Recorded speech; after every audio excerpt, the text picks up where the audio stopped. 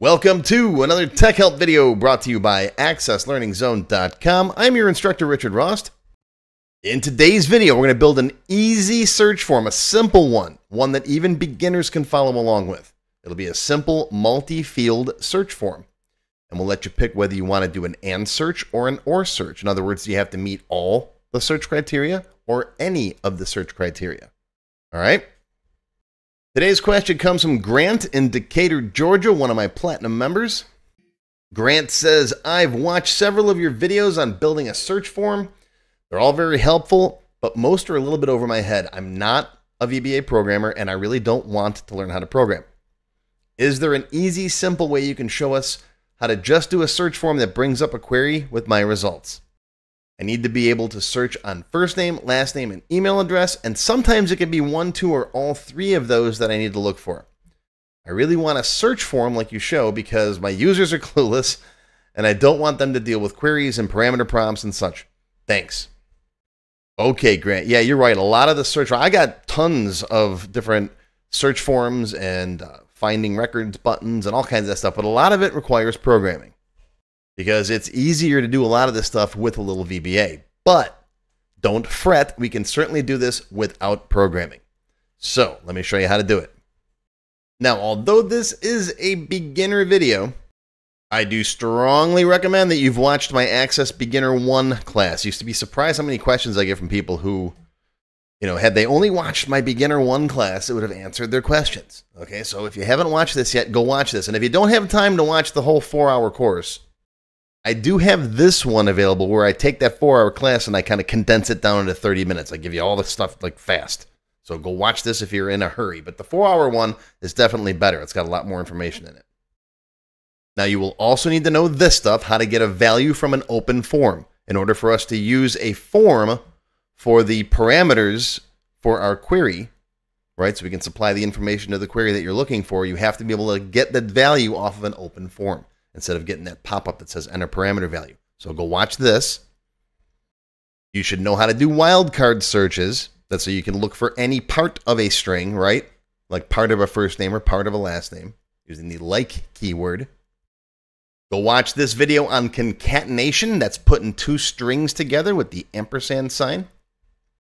And go watch this one on the differences between and, or, and not. You learn my and across or down rule. All right, so go watch all of these first. These are all free. They're on my YouTube channel, they're on my website. Go watch them and then come on back. Okay, here I am in my Tech Help free template. This is a free database. You can download a copy of this off my website if you'd like to. And I have a whole series of videos on how I built this. It's got a real simple customer form. It's got a customer list form. You can list all your customers and pick one and click a button and open that one up. Or with a little bit of programming, a little tiny bit of programming, you can double click there and open it up, right? We got contacts every time you talk to that customer. We've got orders.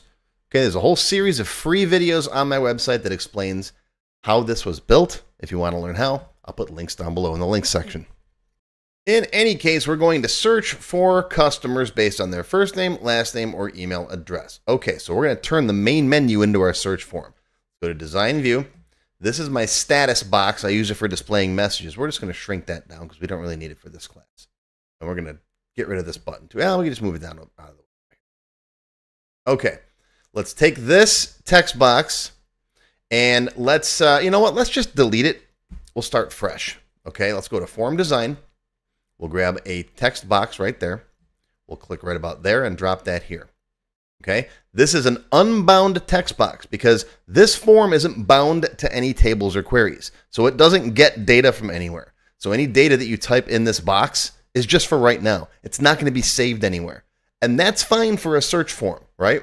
We don't we're not trying to save this data in like a customer table or something. We just want to use it right now. Okay? So let's give it a good name. Let's call this the first name search box. Okay, that's the name of the box. Okay, and it does not have a control source. Normally, in like a customer form, you'd put customer uh, first name in here, for example, as your control source. Now here's the label. I'm going to slide this over just a little bit, like right about there. Make it a little bit bigger. And let's make it white so we can actually see it because we got a dark background. I try to avoid the theme colors. I like to use the standard colors because they never change. The theme colors can change if the user changes the theme, which I don't like doing. All right, and this will be just first space name. That's a label. That's okay.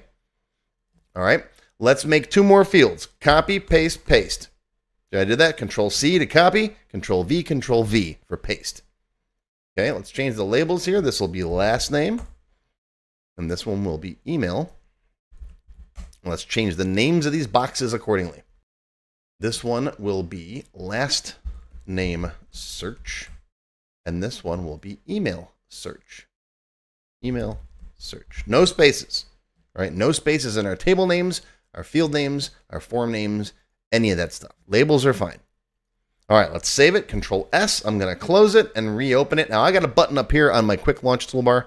All it is doing is opening up this main menu. So if you see me click on that, that's all that is. I got a whole separate video on that. All right, now we want to be able to type in stuff in here and open up a query that does the search for us, shows us the results, right? So let's create that query. Now create query design. Let's close this. We don't need that yet. Let's bring in the customer table, which is where we're getting our data from, and then we can close the add tables pane, okay? Now, the fields that you want to see in here are the fields that you bring over into the different columns here. Whether or not you want to search on them, if you want to see them, you can bring them in. So I'm going to bring in customer name, first name, last name, and email. If you want to see other stuff too, like country, phone, that's fine.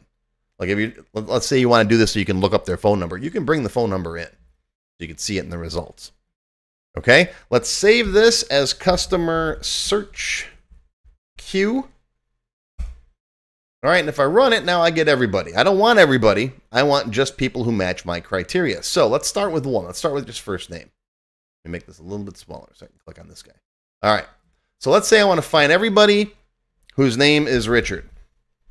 Okay, so normally if you want just an exact match, you'd come down here and in the criteria, you'd say equals forms, exclamation point, main menu F, exclamation point, first name search. There it is right there. Okay. And if I click on here and go shift F2, I zoom in so you can see the whole thing. Let me make the zoom in box smaller. All right, there we go. That's the zoom box. That's so you can see what's in that little teeny tiny field down there without me actually having to zoom the video in. I use this thing a lot. It's not like Word and Excel where you can actually just zoom in and out, right? That's a, a note for the Access development team. Zooming in and out, even even in Form Viewer, it would be nice. I know reports can do it, but forms can't. But even in design, that'd be great. I know that's that's that's tough though. It's a big it's a big change. All right, so hit OK. Now, if I run this now, I see me, I see Richard, right? That's the only criteria you put in there. Okay, but what if I want to see Save changes. What if I want to see just everybody with an R in their name or everyone that starts with an R? Okay, if I run it now, I get nobody. Well, run it now is over here. Where are you? Customer search. Right? I get nobody because of my criteria. All right, I want to do a wildcard search. We got to open this up. Whoops, turn that back on. We got to open this up. And we have to use the like keyword, right? Like the wildcard video. So I'm going to say like that and a star on the end. So it's going to put whatever you put in the box and a star on the end. That's concatenation. Okay, hit OK. Save it. Let's close this and then reopen it again. And look at that. Now I got everybody whose name starts with an R. Because that's what I put in for my criteria, right? If I close this, if I change this and put, let's say, a, a J in here and run it, there you go. There's all your J's. Okay. Now, what if you want that J to be anywhere in the field? Well, let's adjust this again. All right. Instead of putting the asterisk at the end, we can put one at the beginning too, right? Star and that. So the J can be anywhere in the first name search.